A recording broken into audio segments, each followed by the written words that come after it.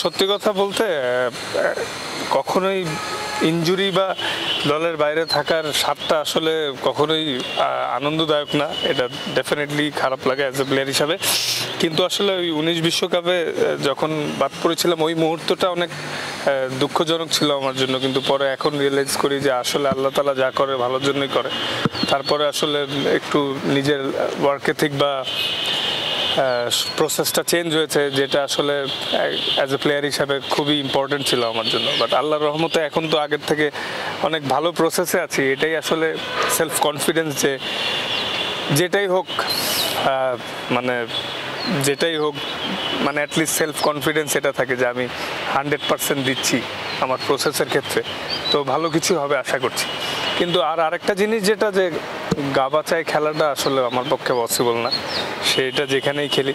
কারণ বলটা হাতে নিলে খেলতে নামলে না আসলে মাথায় ওটা থাকেই না যে কীভাবে একটু সেফলি খেলা যায়। আরও তো আমি fast bowler R red and গ্রিনে খেলাটা অনেক প্রাইডের একটা জায়গা আমার জন্য। শুধু এটা না ক্রিকেটটাই আসলে। তো যখনই খেলতে নামি আসলে মাথায় ওটা থাকে না যে সামনে বড় ইভেন্ট আছে বা কি কি আছে না আছে। তো এই জন্যই আর কি আল্লাহ যাতে সুস্থ রাখে এটাই সবসময় দোয়া করব এবং আপনারাও দোয়া করবেন যাতে আল্লাহ ফিট রাখে। তাসকিন আমরা ইন্টারেস্টিংলি যদি দেখি যে পুরো দল বিশ্বকাপ কেন্দ্রিক একটা আলোচনা অনেক আগে শুরু হয়ে গিয়েছে এটা খুব ভ্যালিড আসলে। ওয়ান ডে আমাদের স্ট্রেংথের জায়গা আপনারা ভালো করছেন। ওপেনিংয়ে বিকল্প কে হবে সেই সংক্রান্ত আলোচনা আমরা দেখি। মিডল অর্ডারে আসলে কে কার বিকল্প? লোয়ার মিডলে আসলে রিয়াদ খেলবে কি খেলবে না? হ্যাঁ। কিন্তু একটা ডিপার্টমেন্ট নিয়ে কোনো ডিসকাশন আলোচনা হয় না বিতর্ক হয় না। বিতর্ক নেই, যেটাতে আসলে আপনি হাসান এবাদত, মুস্তাফিজ আপনারা রিপ্রেজেন্ট করছেন। এটা আসলে কতটা হ্যাপি করে নিজেদেরকে, যে পেস ডিপার্টমেন্ট নিয়ে আসলে কারও কোনো টেনশন নাই?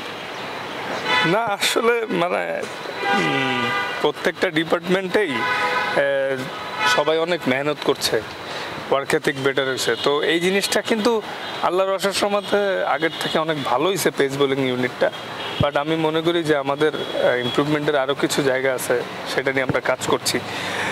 তো এই ইউনিটটা প্রায় দুই তিন বছর ধরে একত্রিত হয়ে কাজ করছে, এখন একটু আগের থেকে একটা অবস্থানে আসছে। আমি মনে করি যে আরেকটু ইমপ্রুভমেন্টেরও জায়গা আছে আমাদের, কারণ আমাদেরও সবারই ইচ্ছা এই ডিপ এই পেস ইউনিটটা ওয়ার্ল্ডের one of the best unit হবে ইনশাল্লাহ, সেই অ্যাবিলিটিও আছে। তো এটার পিছনে আসলে আমাদের অনেক শ্রম আছে। এমনি এমনি আসলে এটা নিয়ে ইদানিং আলোচনা কম হচ্ছে। আল্লাহ না করুক, খারাপ করলে আবার আলোচনা হবে বাট এই আলোচনাটা যাতে না হয়, এটাই চাই। যাতে সবাই ভালো করতে পারে আর সুস্থ থাকে। তো এটার পিছনে অনেক শ্রম ডেডিকেশনও আছে সবার, প্রত্যেকটা ফাস্ট বলার যাচ্ছে যাতে ভালো করতে পারে। সামনে অনেক চ্যালেঞ্জিং খেলা আসতেছে কন্ডিশনগুলো এত ইজি হবে না। ব্যাটিং সহায়ক হবে বা স্পোর্টিং হবে। তো ওইখানে ফাস্ট বোলার বা স্পিন বোলার যেই করবে, ওদের অনেক চ্যালেঞ্জ থাকবে। সো ওই, ওইটার জন্য নিজেদেরকে আরও ওয়েল প্রিপেয়ার করতে হবে বলে মনে করি। তাসকিন আমরা যদি খেয়াল করি যে আইপিএল চলছে কম বেশি আইপিএল হয়তো আপনিও সুযোগ করে দেখার চেষ্টা করেন কারণ বিশ্বকাপটাও সেখানে হবে। বেস্ট ক্রিকেটাররা সেখানটায় খেলছে ব্যাটিং বোলিং করছে। এবং মোটামুটি একটা জিনিস পরিষ্কার যে ভারতে বিশ্বকাপ আইপিএল একটা বার্তা দিচ্ছে যে পেসারদের জন্য বোলারদের জন্য একটা বিশাল চ্যালেঞ্জ অপেক্ষায়। এটা কতটুকু আসলে আপনাদেরকে প্রিপেয়ার করছে কতটুকু সতর্ক করছে? না ভাইয়া প্রত্যেকটা ম্যাচের আগে আসলে প্রিপারেশন নিতে হয়।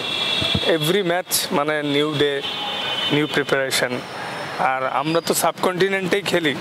তো ইন্ডিয়ারটা আরেকটু তুলনামূলক বেশি ভালো উইকেট হয় ব্যাটিংয়ের জন্য বেশি, স্পেশালি বাট একদিক দিয়ে ভালো যে ওইখানে যখন ওইখানে ভালো করতে পারলে সেলফ কনফিডেন্ট আরও বিল্ড হবে আর হারানোর ভয়টা কম রেখে যদি আগাইতে পারি, আমার মনে আমাদের জন্যই ভালো।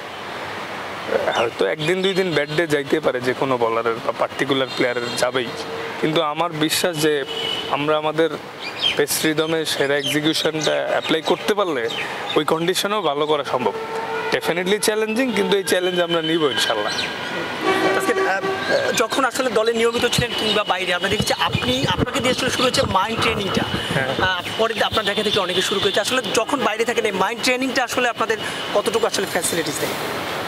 মাইন্ড ট্রেনিং জিনিসটা এটা অনেক ইম্পর্টেন্ট একটা পার্ট এটা ডেফিনেটলি যার যার পার্সোনাল ম্যাটার কে কে করবে না করবে যেহেতু মানে mind training mind trainer personal fitness trainer এটা এই টপ লেভেলে সবারই থাকা উচিত। আমি, মনে হয় কম বেশি সবার আছেও। তো সেম জিনিসটা আমারও। কারণ এটা আমি আমার, ধরেন personal trainer personal mind trainer এগুলা আমারও আছে। আমার টিমের প্র্যাকটিস বোর্ডের প্র্যাকটিস ছাড়াও আমি তাদের সাথে পরামর্শ করি বিকজ আমাদের অফ সিজন বা এই মিরপুরের বাইরেও তো একটা দুনিয়া আছে ফ্যামিলি আছে, অনেক কিছু আছে। পার্সোনাল লাইফে অনেক প্রবলেম হয়, অনেক কিছু হয়।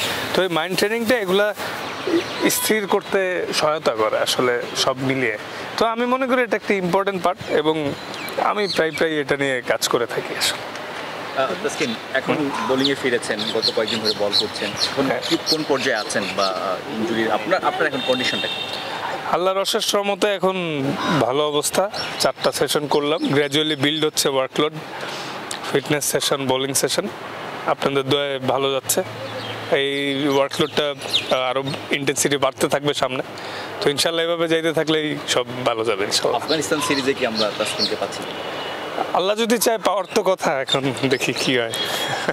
ওয়ার্কলোডের কথা বললেন যেহেতু আপনি হ্যাঁ। তিন ফর্মেটেই খেলেন। এই তিন ফর্মেটে খেলার কারণেই কি ওয়ার্কলোডটা একটু বেড়ে যায় কিনা?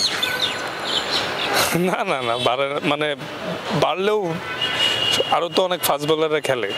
হয়তো আমি ঠিক না আমার আরও ফিট হওয়া দরকার।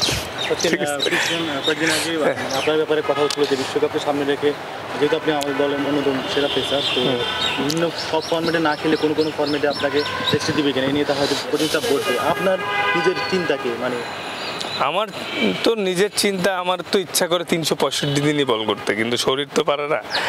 তো ওই বোর্ড ডিসিশন নেবে। কিন্তু আপনারা দোয়া করেন যাতে আমি সুস্থ থাকি। Thank you. ব্রাদার যাতে ফিট থাকে আমি খেলতে পারি। আমার আসলে খেলতেই ভালো লাগে।